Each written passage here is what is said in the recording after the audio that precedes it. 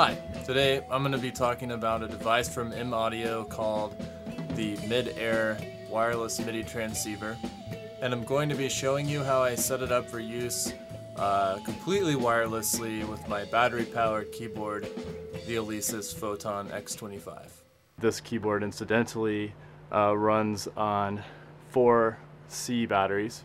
I've also got an Xbox 360 uh, wireless controller right here uh, that is linked to my MacBook Pro. The Xbox 360 controller is talking to the Mac through a custom interface that I designed using a shareware program called ControllerMate for Mac OS 10, which allows you to set what any control um, on the controller does and then I'm also using Digital Performer by Mark of the Unicorn, aka Motu. I've been using Digital Performer now uh, for about eight years, um, ever since I got my Motu 828 back in the day.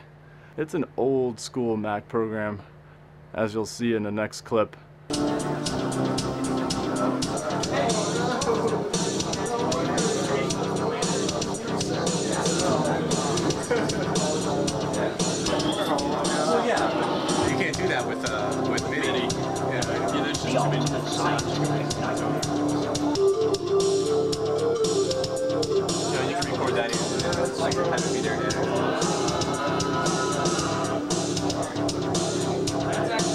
This was a setup which was originally designed for sequencing, but they added digital audio features as well when it turned to digital performer.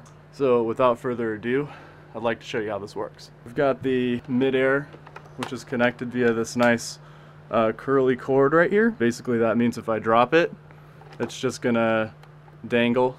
So if it comes actually off my clothes, you know, it's not gonna jerk out. It's just got this little receiver guy.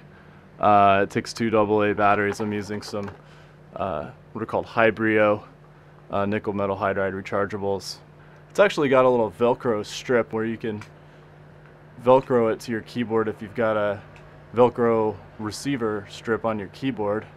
It's what I call physical analog connections. Now you might notice the gaudy yellow chain. That was kind of an impromptu decision on my part. Why yellow? It's what they had.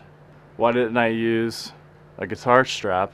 Well, frankly, I didn't want to make another trip over to Trade Up Music to buy a guitar strap.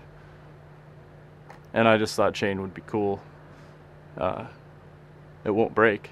As you can see here, uh, I just used some uh, steel wire. This is the kind I used right here. Hillman uh, 22 gauge, 22 caliber, galvanized. Now you can see I'm able to wear it. It's pretty sturdy. I can uh, flip it around this way for when I'm playing uh, my regular um, keyboard, which over here you can see is a Korg uh, X2.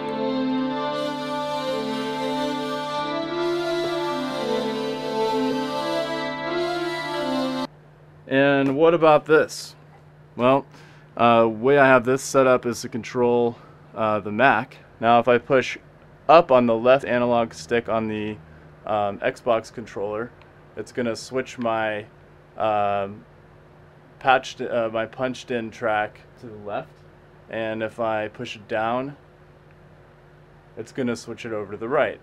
Now this is, an, this is what enables me to change the patches that I use for my keyboard. So I can also, with the right analog stick, I can control my mouse and I can set this enables me to change stuff and set stuff on there.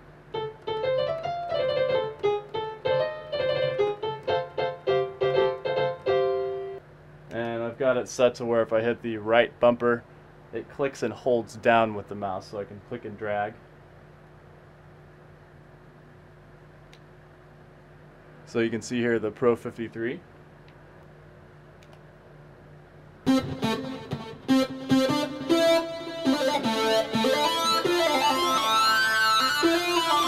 And one of the cool things on the X25 is that it actually has the ability to change its preset right here uh, to the Pro 53. And now it's all dialed in and it's got these little inlays, as you can see, uh, that tells you what you're doing on your Pro 53.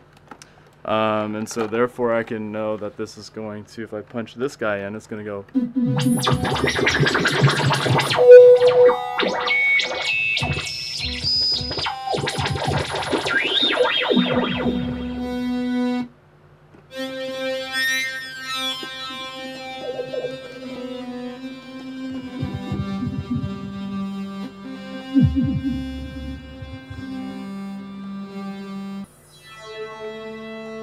And then like quickly I could just go. Now I'm on the Moog. Now I'm back to the Pro. Now I'm on the Moog. Now I'm back to the Pro. So as you can see, it's got some flexibility to it. And if I want to get to the Finder, uh, let's say I want to open up a file, I can hold down my Xbox button. Um, here, I'm going to push that, hold it down for a few seconds. If I hold it down for five seconds, boom, Finder window comes up. Now I'm going to be able to, let's say, let's say I want to do live broadcast into Second Life.